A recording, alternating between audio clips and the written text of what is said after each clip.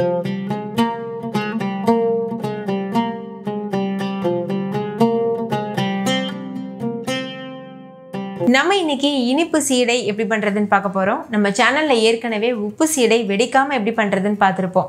அந்த வகையில் இன்றைக்கி நம்ம வெள்ளை சீடை தான் எப்படி செய்கிறதுன்னு பார்க்க போகிறோம் பொதுவாக நம்ம இதை கிருஷ்ண ஜென்மாஷ்டமிக்கு பண்ணுவோம் ஈவன் நீங்கள் வந்து நார்மல் டேஸில் கூட ஸ்நாக்ஸாக பண்ணலாம். இது வந்து நீங்கள் ஒரு டைம் பண்ணிவிட்டு ஏர்டைட்டான கண்டெய்னரில் போட்டு ஸ்டோர் பண்ணிட்டீங்கன்னா பதினஞ்சு நாள் வரைக்கும் கூட கெட்டு போகாமல் இருக்கும். ஸோ கண்டிப்பாக ட்ரை பண்ணி பாருங்கள் ஹாய் ஃப்ரெண்ட்ஸ் வணக்கம். என் பேர் Ravi. Welcome to Indian recipes Tamil. வீடியோக்குள்ளே போகிறதுக்கு முன்னாடி நம்ம சேனல் இந்தியன் ரெசிபிஸ் தமிழை சப்ஸ்கிரைப் பண்ணிக்கோங்க. கூடவே இருக்க பெல் சிம்லையும் கிளிக் பண்ணிக்கோங்க.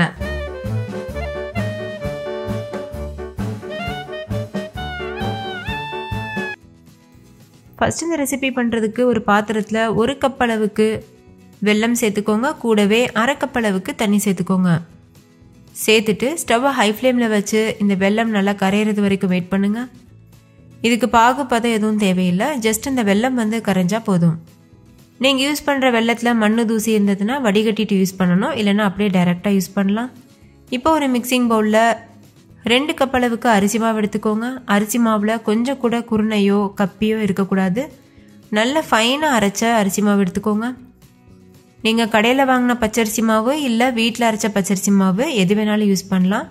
எந்த கப்பில் வெல்லம் எடுத்தோமோ அதே கப்பில் ரெண்டு கப் அளவுக்கு பச்சரிசி மாவு எடுத்துக்கோங்க. நான் யூஸ் பண்ணியிருக்கிறது வறுக்காத அரிசி மாவு. இது கூடவே ஒரு டீஸ்பூன் அளவுக்கு வெள்ளையல் அப்படி இல்லைன்னா கருப்பியல் சேர்த்துக்கோங்க. மூணு டேபிள் ஸ்பூன் அளவுக்கு துருவின தேங்காய் ஒரு டீஸ்பூன் ஏலக்காய் தூள் ரெண்டு டேபிள் ஸ்பூன் உருக்கின பட்டர். இது கூடவே நம்ம கரைச்சி வச்சிருக்க வெள்ளைப்பாகு. இது எல்லாத்தையும் சேர்த்து ஒரு கரண்டி வச்சு நல்லா மிக்ஸ் பண்ணிக்கோங்க. வெள்ளைப்பாகு நல்லா சூடாக இருக்கும் அதனால் கரண்டி வச்சு மிக்ஸ் பண்ணிக்கோங்க. இந்த மெத்தடில் பண்ணும்போது உங்களுக்கு வந்து சீடை வெடிக்குன்ற பயமே வேண்டாம். சீடை வெடிக்காமல் இருக்கிறதுக்கு சில டிப்ஸ் இருக்குது அது எல்லாமே நான் வீடியோ கடைசியில் ஷேர் பண்ணியிருக்கேன். ஸோ வீடியோ ஸ்கிப் பண்ணாமல் பாருங்கள் ஸ்டார்டிங்கில் கொஞ்சமாக வெள்ளைப்பாகு சேர்த்து மிக்ஸ் பண்ணிவிட்டு அதுக்கப்புறமா மித்த இருக்க எல்லாத்தையுமே சேர்த்துட்டு நல்லா கலந்துக்கோங்க. தேவைப்பட்டதுன்னா நீங்கள் தண்ணி சேர்த்து மிக்ஸ் பண்ணிக்கலாம். அப்படி இல்லைன்னா தேங்காய் பால் சேர்த்து கூட கலந்துக்கலாம். நான் வந்து தேங்காய் பால் சேர்த்து தான் கலந்துக்க போகிறேன் அப்போ தான் டேஸ்ட்டும் ஃப்ளேவரும் ரொம்பவே சூப்பராக இருக்கும். நீங்கள் தேவையான அளவுக்கு தேங்காய் பால் சேர்த்துக்கலாம். எனக்கு வந்து கால் கப் அளவுக்கு தேங்காய் பால் தேவைப்பட்டது. சேர்த்துட்டு ஒரு கெட்டியான மாவு பக்குவத்துக்கு மிக்ஸ் பண்ணிக்கோங்க. நார்மலாக நம்ம முறுக்கு மாவுலாம் பிசைவோம்ல அந்த மாதிரி. ஓரளவு ஆறுனதுக்கு அப்புறமா கை வச்சு நல்லா பிசைஞ்சுக்கோங்க. நல்லா இந்த மாதிரி மிக்ஸ் பண்ணிக்கோங்க. இந்த அளவுக்கு மாவு பிசைஞ்சதுக்கு அப்புறமா நம்ம சின்ன சின்ன உருண்டைகளாக உருட்ட ஆரம்பிச்சிடணும். பாருங்கள் இந்த மாதிரி விரல்கள் வச்சு ஸ்டார்டிங்கில் நல்லா உருட்டிக்கோங்க. அதுக்கப்புறமா தான் நம்ம உள்ளங்கை யூஸ் பண்ணி உருட்ட ஆரம்பிக்கணும். அப்போ தான் வெடிக்காமல் இருக்கும். நீங்கள் உருட்டும் போது ரொம்ப மிருதுவான பால்ஸாக தான் உருட்டிக்கணும். ரொம்ப டைட்டாக உருட்டக்கூடாது. கிராக்ஸ் இருந்தாலும் பரவாயில்ல. இதே போல் மீதற்கு எல்லா மாவுலையும் உருண்டைகள் உருட்டிட்டு ஒரு பிளேட்டில் தனியாக வச்சுருங்க. ஸ்டார்டிங்கில் விரல்கள் வச்சு உருட்டணும். அதுக்கப்புறம் உள்ளங்கை வச்சு இது போல் லேசாக உருட்டிக்கோங்க. கையில் நெய் எண்ணெய் எதுவுமே வந்து அப்ளை பண்ண தேவையில்லை. ஏன்னா நம்ம இதில் பட்டர் சேர்த்து பிசைஞ்சிருக்கிறதுனால மாவு நல்லாவே ஷைனிங்காக இருக்கும். ஓகே இப்போ இதே போல் இதற்க இருக்க எல்லா மாவையும் நம்ம உருண்டையாக உருட்டி வச்சிடலாம்.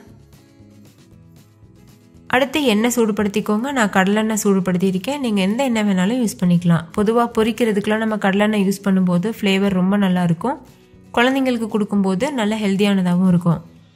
எண்ணெய் நல்லா சூடானதுக்கப்புறமா நம்ம எடுத்து வச்சுருக்க சீடக்காய் உருண்டைகளை சேர்த்துருங்க. சேர்த்துட்டு ஸ்டவ்வை வந்து லோ ஃப்ளேமில் வச்சுருங்க ஸ்டார்டிங்கில் கரண்டி வச்சு கிளறக்கூடாது. ஒரு ரெண்டு நிமிஷத்துக்கு அப்படியே லோ ஃப்ளேமில் வேகட்டும். அதுக்கப்புறமா நம்ம கரண்டி வச்சு கிளறிக்கலாம். ஃபஸ்ட்டு வந்து இந்த மாதிரி சூடான எண்ணெயை தெளித்து விடுங்க. நம்ம பூரிக்கெலாம் செய்வோம்ல அந்த மாதிரி. அதுக்கப்புறமா லேசாக இது போல் கலந்து விடுங்க.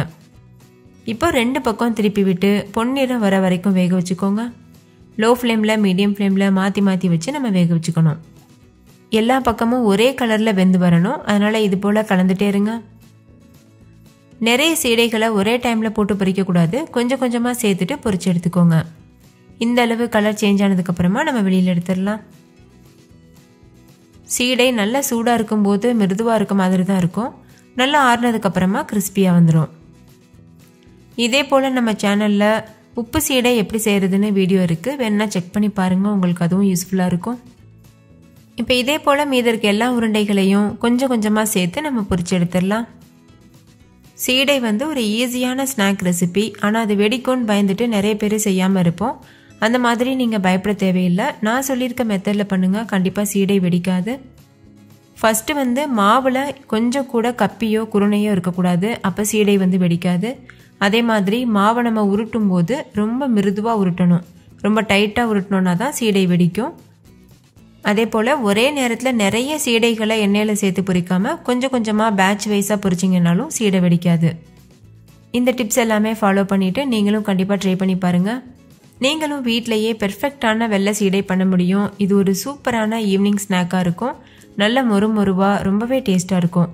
இது நல்லா ஆறுனதுக்கப்புறமா ஒரு ஏர்டைட்டான கண்டெய்னரில் போட்டுட்டு ஒரு ஏழு நாளுக்கு கூட வச்சு சாப்பிடலாம் கெட்டு போகாமல் இருக்கும்.